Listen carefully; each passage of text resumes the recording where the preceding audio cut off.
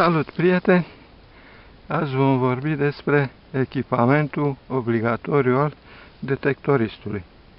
Un detectorist nu poate să meargă îmbrăcat așa ca un purdi urât, trebuie să meargă îmbrăcat ca un domn.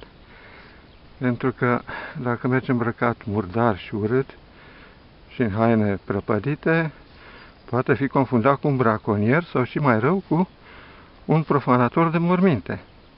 Așa că trebuie să vă îmbrăcați ca niște adevărați domni. Și vă voi arăta de ce este nevoie. Deci, în primul rând, un detector, o lopată,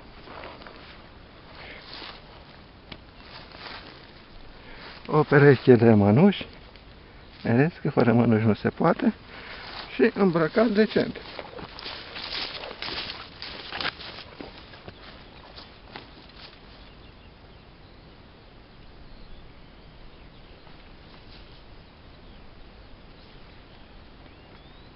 E bine?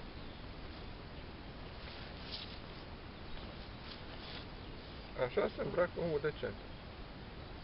Un detectorist. Să vă vorbesc, detectorul știți, îl cunoașteți. N-are rost să vă mai spun de O să vă spun de noua mea lopată.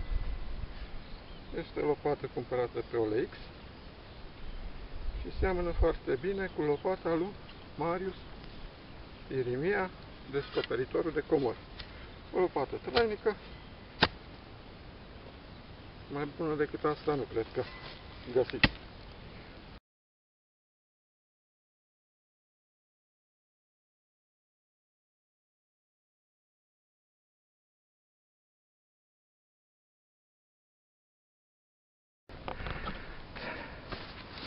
Salut, prieteni!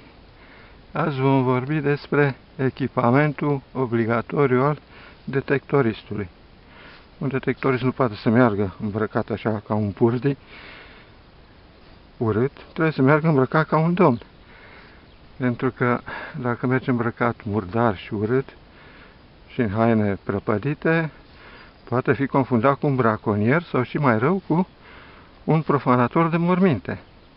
Așa că trebuie să-l îmbrăcați ca niște adevărați domni și vă voi arăta de ce este nevoie. Deci, în primul rând, un detector, o lopată,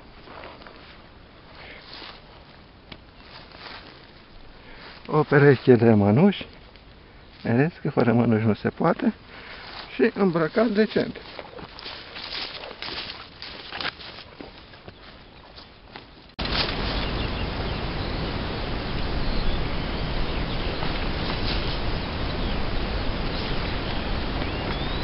E bine?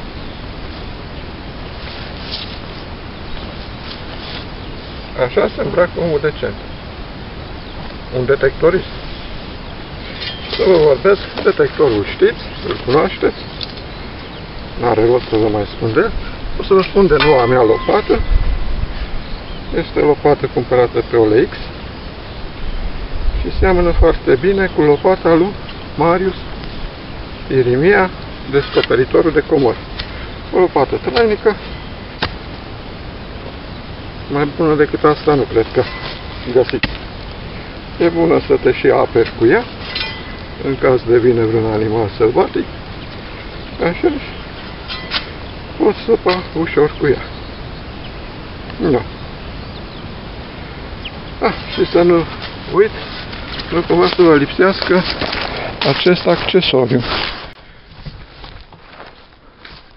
Fără acest accesoriu nu puteți fi un detectorist autorizat.